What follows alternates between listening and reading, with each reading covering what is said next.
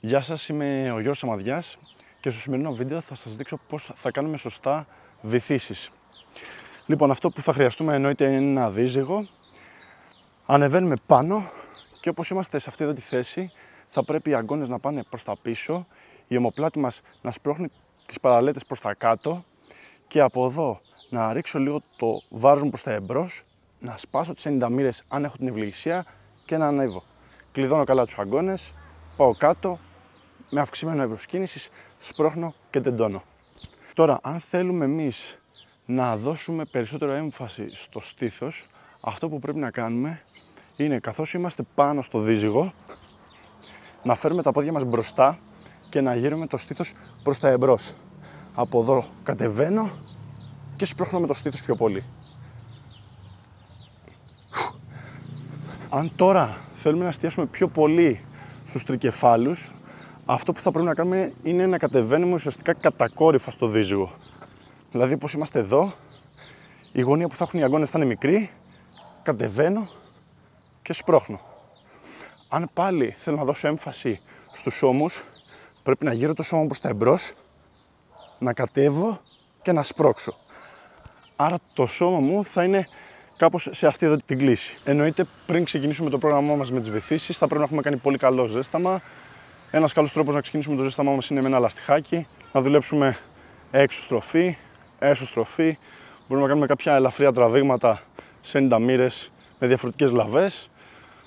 Από εδώ να δουλέψουμε πάλι σε 90 μοίρες στροφική κίνηση, κάποια ανοίγματα, έτσι για να μπούμε μετά στις βυθίσεις. Γιατί κρύει με το να πάμε για να σηκώσουμε όλο το βάρος μας δεν είναι καλύτερη ιδέα και εμπεριέχει μεγάλο κίνδυνο τραυματισμού. Πάμε να δούμε τώρα κάποια συνηθισμένα λάθη που συναντάμε συχνά στις βυθίσεις.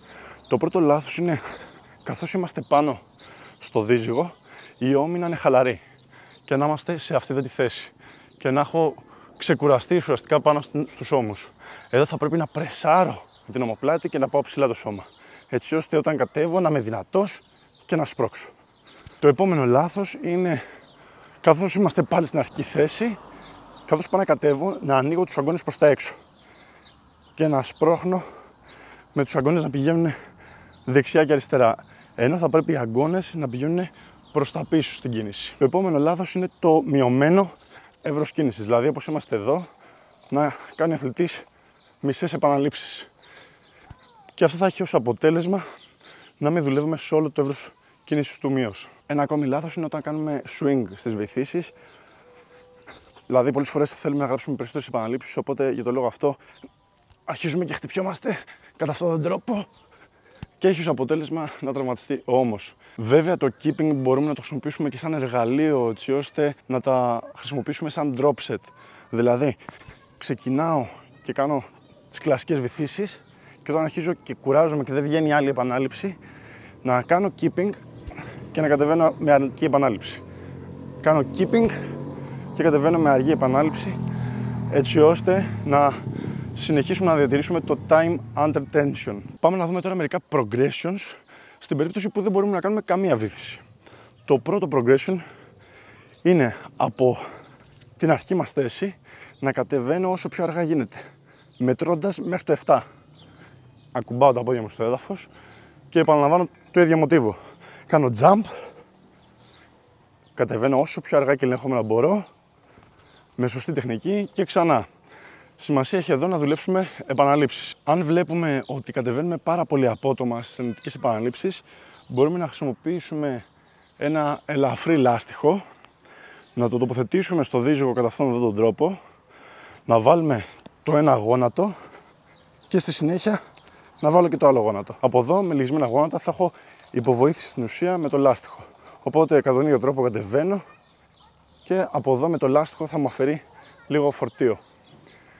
Και μπορούμε να δουλέψουμε πιο πολλές επαναλήψεις. Εδώ θα πρέπει να αποφύγουμε να κάνουμε απότομες επαναλήψεις και να χρησιμοποιούμε την ταλάντευση από το λάστιχο. Θα πρέπει να επιλέξουμε ένα λάστιχο με βάση το επίπεδό μας, αλλά γενικότερα καλό είναι να μην χρησιμοποιούμε βαριά λάστιχα αν είμαστε σε ένα επίπεδο που χρειαζόμαστε βαριά λάστιχα, πρέπει να πάμε σε ένα πιο εύκολο progression.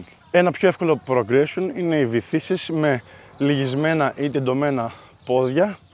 Βάζοντας τα χέρια μας είτε σε ένα χαμηλό μονόσγο, είτε σε ένα πάγκο, σε μια εξέδρα. Και από εδώ όπως είμαστε πάμε τη λεκάνη προς τα πίσω και κάτω και μέχρι να τεντώσουμε τους αγκώνες ολοκληρώνουμε την άσκηση. Άρα πάμε πίσω στη λεκάνη και δουλεύουμε εδώ. Αν μας φαίνεται δύσκολο μπορούμε να λυγίσουμε τα πόδια και να δουλέψουμε εδώ. Αντίστοιχα μπορούμε να δουλέψουμε το ίδιο progression σε ένα πιο χαμηλό ύψωμα και μπορούμε φυσικά να βάλουμε και τα πόδια μας σε ένα κουτί ή σε ένα πάγκο για να το κάνουμε ακόμα πιο δύσκολο. Οπότε κατεβαίνουμε και τεντώνουμε τους αγκώνες. Κατεβαίνω και καθώς πρόχνω εκπνέω. Εννοείται πως για να καταφέρουμε να κάνουμε μια βήθηση εμπλέκεται πάρα πολύ ο θώρακας και η πρόσθετη μοίρα του δηλητοειδή. Οπότε αν κάνουμε και τις προασκήσεις των κάμψεων θα βοηθήσουν επίσης. Για παράδειγμα θα έρθουμε σε μια επικλίνη θέση και όπως είμαστε εδώ με σφιχτό σώμα θα πρέπει να κουμπίσουμε το θώρακα πάνω στο χαμηλό μονόζυγο και να τεντώσουμε τους αγκώνες. Μπορούμε προοδευτικά να χαμηλώνουμε το έδαφος μέχρι να φτάσουμε στο έδαφος και να δουλέψουμε τις κλασικές κάμψεις. Αν καταφέρουμε να γράψουμε κάποιες επαναλήψεις θα έχουμε δυναμώσει αρκετά έτσι ώστε να κάνουμε πιο εύκολα και τις βυθίσεις. Και γενικότερα οποιαδήποτε κίνηση με αντίσταση όπου σπρώχνουμε θα βοηθήσουν στο να κάνουμε πιο γρήγορα αυτή την κίνηση. Αυτά όσον αφορά τις βυθίσεις. Ελπίζω να σας βοήθησα με αυτό το βίντεο και να επιδιώξετε να καταφέρετε και εσείς αυτή την άσκηση. Μην ξεχάσετε να κάνετε ένα like στο βίντεο και εγγραφή στο κανάλι μου. Μέχρι το επόμενο βίντεο να είστε όλοι καλά.